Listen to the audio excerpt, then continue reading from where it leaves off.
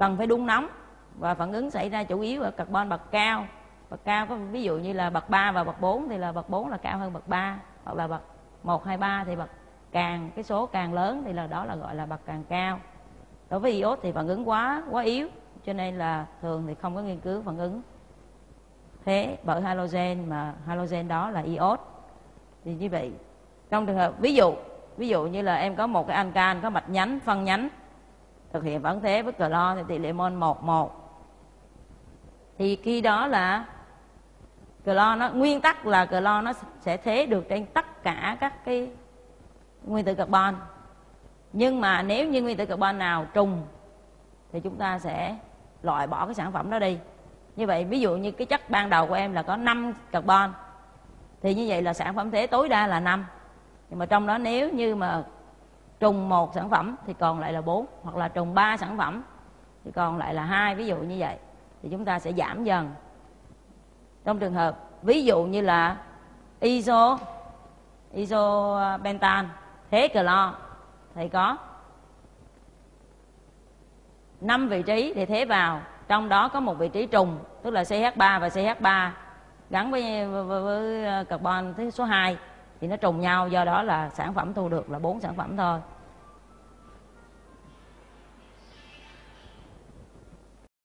Như vậy là khi thực hiện phản thế clo với isopentan thì chúng ta sẽ thu được bốn sản phẩm. Bốn sản phẩm thế tương ứng với bốn vị trí của carbon là C1, C2, C3, C4 thì xem như là carbon là nhánh là không có sản phẩm thế ở đó bởi vì nó sẽ trùng với carbon của C1 như vậy là cái phản thế của isobentan là tương đối thông dụng, thì các em chú ý, cái, nhớ cái sản phẩm của nó để mà làm thực hiện các cái bài tập. Cái bài thứ hai.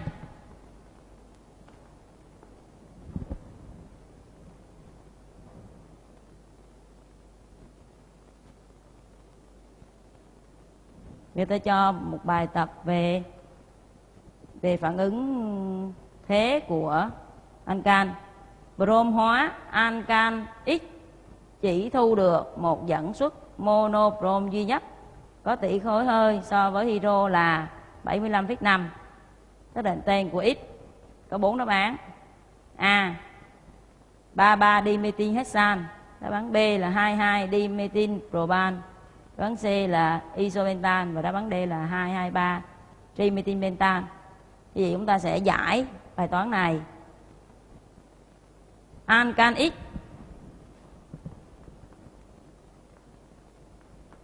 công thức là C CN2N cộng 2 thế brom dẫn xuất mono brom mà có tỷ khối đối với hydro, như vậy là tạo thành là dẫn xuất. Công thức của dẫn xuất sẽ là CN2N mono có nghĩa là một brom như vậy là trên nguyên tử hydro chúng ta sẽ lấy 2n cộng 2 trừ 1 thì còn lại là cộng 1 và thế vào một brom hợp chất dẫn xuất này có tỷ khối đối với hydro là 75,5 có nghĩa là chúng ta sẽ tính được m lớn của CnH2n cộng 1 Br chúng ta lấy tỷ khối hơi của dẫn xuất đối với hydro nhân V m lớn của hydro. Kết quả là 75,5 nhân 2 bằng 151 151 như vậy là chúng ta sẽ cộng nguyên cái hợp chất, cộng nguyên M lớn này lại, tức là carbon là 12N cộng với 2N là 14N cộng 1 brom 80 bằng 151 thì các em sẽ giải được N bằng cái này 81 trừ qua còn lại là 70 70 chia cho 14 là còn lại là 5 như vậy n bằng 5 như vậy chúng ta sẽ có được là công thức phân tử của ancan C5 H.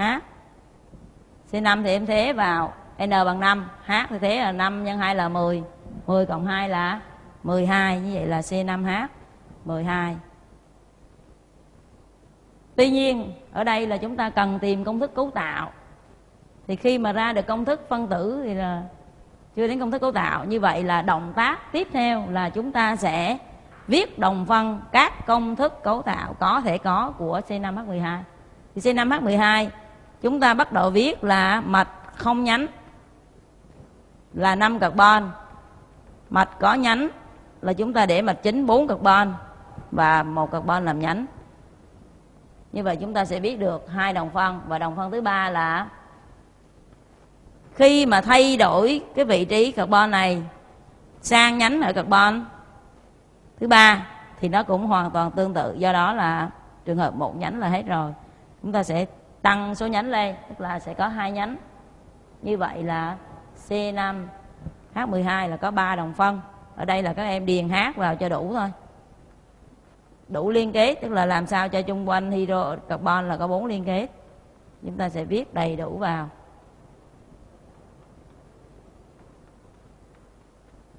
Carbon ở ngoài biên thì chúng ta viết là H3 carbon ở trong thì nếu không có nhánh thì H2 nếu có nhánh thì H, nếu hai nhánh thì là không thêm H nào cả. Chẳng hạn như carbon này không có nhánh, có đủ hai nhánh. Đây mạch chính thì chúng ta không thêm H nữa. Như vậy có ba công thức tất cả trong đó, nếu như công thức thứ nhất, thế thế brom thì sẽ cho chúng ta một sản phẩm, hai sản phẩm, ba sản phẩm, tức là brom có thể thay vào các vị trí mà cô đánh chéo là được ba sản phẩm. Còn nếu mà hợp chất thứ hai, thế brom thì sẽ vào bốn vị trí. Cái này dạ, tương tự giống như là thế clo tuy nhiên là đối với brom thì sản phẩm thế là vào carbon bậc cao là chính, là chủ yếu là carbon bậc cao. Bậc cao là bậc hai nè hoặc là carbon bậc ba nè. Trong trường hợp đối với đồng phân thứ ba, thì carbon ở giữa không còn hydro để thế. Bốn carbon xung quanh là như nhau, thì cho nên chỉ thế được vào một vị trí như vậy là đối với đồng phân thứ ba là có một một sản phẩm thế. Brom nó thỏa mãn điều kiện bài toán. Brom hóa ancan chỉ thu được một dẫn xuất mono. Brom duy nhất như vậy là công thức cấu tạo của nó phải theo công thức số 3 và tên gọi của nó là, chúng ta đánh số mặt chính. 1 2 3 chúng ta sẽ gọi là 2 là vị trí số 2 có một nhóm CH3 là metin. Vị trí số 2 nữa, có một nhóm CH3 nữa, rồi chúng ta sẽ gọi hai nữa metin nữa. Đáng lẽ gọi là hai metin hai metin, nhưng mà như vậy thì nó lặp lại. Chúng ta dùng một tiếp đầu ngữ là dimetin. Hai hai, dimetin. Tức là vị trí số 2 có một nhóm metin, vị trí số 2 cũng có thêm một nhóm metin nữa. Và tên mạch chính 3C là propan như vậy tên của hợp chất này là 22 dimetin propan hay còn gọi là neo pentan đây là neopentan là tên thường, tên thông thường, còn 22 dimethyl propan là tên thay thế. Như vậy là ta chọn cái đáp án tương ứng với cái tên gọi của x. Như vậy chính là đáp án B. X là 22 dimethyl propan đáp án B.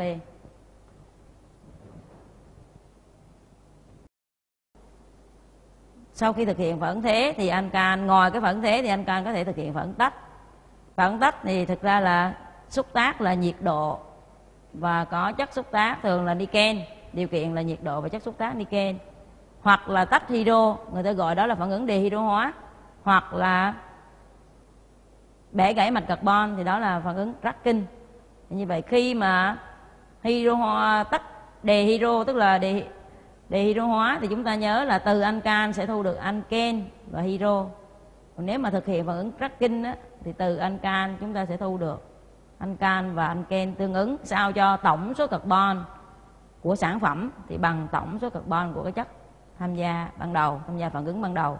Thì ví dụ như là khi em có là C4H10 tức là N-butan, dưới tác dụng của nhiệt độ và chất xúc tác thích hợp, có thể thực hiện phản ứng tách theo xu hướng là chúng ta sẽ tạo thành sản phẩm là C3H6 và metan hay là C2H4 và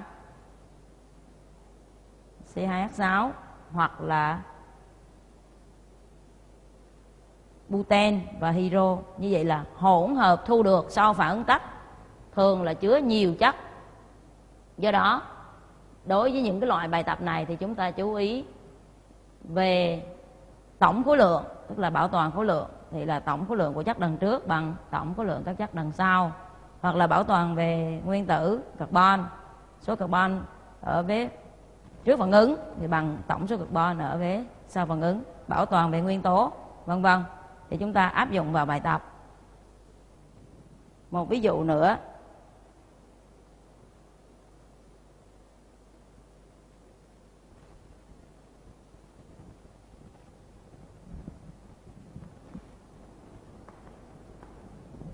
chúng ta sang bài 3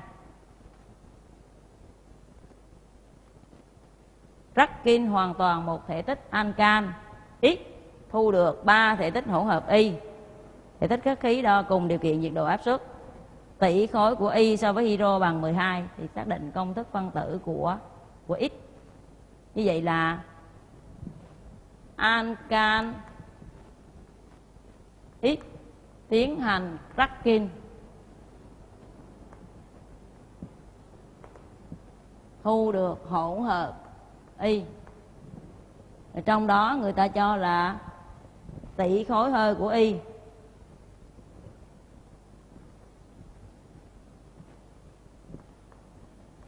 Đối với hydro là bằng 12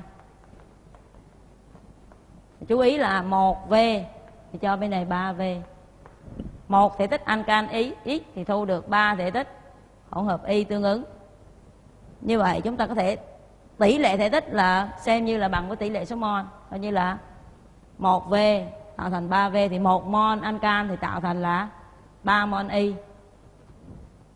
Thì chúng ta từ từ tỷ khối hơi của y chúng ta tính được m của y bằng sẽ bằng là 12 nhân cho 2 là 24 đây là m lớn, còn m nhỏ của y.